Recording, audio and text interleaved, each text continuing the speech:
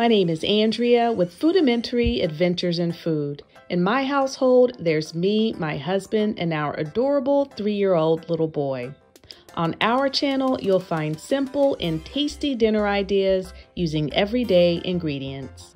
Hey guys, so it is the week of Christmas and I am not going to be doing a whole lot of cooking this week. So tonight we are having a pizza from HEB. It's in the deli section and never bought it before, but this is just a 12 inch pepperoni pizza. Popped it in the oven for 10 minutes directly on the rack and here it is. So this is what we are having for dinner tonight and we will see y'all next time. Hey guys, so Harrison has been sick for the last couple of days, so I have not made any dinner, but I wanted to show you what I'm making us for lunch. We're having this chorizo queso from HEB that I picked up um, on a recent haul, and this is what the label looks like, and all you do is pop it into the oven with a little bit of milk, and here it is. I have bought the brisket before, and um, we really like that. The chorizo is just okay. I don't know that I would buy it again, but I would definitely stick with the brisket. And then I just warmed up some tortilla chips on the cookie sheet. So this is what we're having for lunch and I'll be back with the dinner soon. So for dinner tonight, we are having Kung Pao chicken. It is from Trader Joe's. It was in my freezer and Howard and I really like this a lot. I haven't made it in a while. It does come with peanuts in a separate package and uh, we don't care for peanuts in the dish, so we just eat those separately. Um, but I am serving it over some jasmine rice. And then I also stir fried some fresh broccoli and added this Korean barbecue sauce. I'm sorry, Korean barbecue seasoning to it. It's very tasty along with a little bit of sesame oil. It's an easy meal tonight. Today is the first day that Harrison has not had a fever in about four days. So I was able to put a little bit of something together. So this is what we are having for dinner tonight and we will see y'all next time. So I'm trying out a new recipe for dinner tonight. It is called beef enchilada casserole. Of course, I'll make sure to leave the recipe in the description box. I've just added some taco seasoning to one pound of cooked ground beef. And now I'm adding in one can of pinto beans. The recipe says to drain and rinse them. I didn't rinse them, I just drained them. And now I'm just gonna give it a stir and then let everything combine on or in the pot.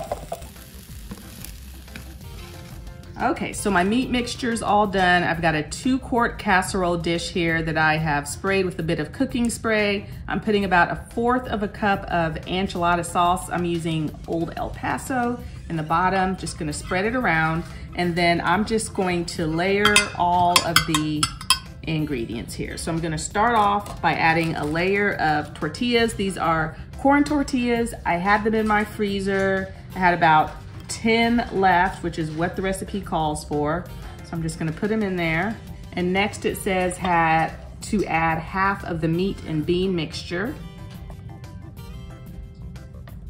And then to add about a third of cheese. So it calls for cheddar cheese. However, I have a mixture right here of uh, Colby Jack that I needed to use. The expiration date was coming up pretty soon, so I wanted to use that and then to add some more enchilada sauce. And then, like I said, just repeat the layers again. Okay, so here it is. It is ready to go into the oven. It says to cover it and bake it for 30 minutes and then take the cover off and then let it continue to bake for another five, 10 minutes or until that cheese is nice and melty. Okay, so here is our dinner, and as you can see, I added some green onions and fresh tomatoes. Uh, that's what the recipe called for. And I am serving it with a side of canned corn and Spanish-style rice. This is a canned corn that I'm using. I got it from HEB, and it is really sweet. Uh, it's pretty tasty and crunchy. And then here is the Spanish rice. I picked this up on a recent um, Trader Joe's haul. So you get two pouches in the packet and I did microwave it. You can cook it on the stove too. uh, two pouches, but they're pretty, I mean, it's enough for like one person or a two person household. But for a family, one pouch isn't gonna do it. So you'd end up making both pouches, but it is pretty good. I will have to say that. Um, but anyway, uh, also the casserole is pretty tasty too. So, but anyway, this is what we are having for dinner tonight and we will see y'all next time. Merry Christmas, everyone. It is Christmas Day and we are having Christmas dinner. It's just the three of us. I didn't make a whole lot of food. As you know, Harrison has been sick, but let me show you Howard's plate.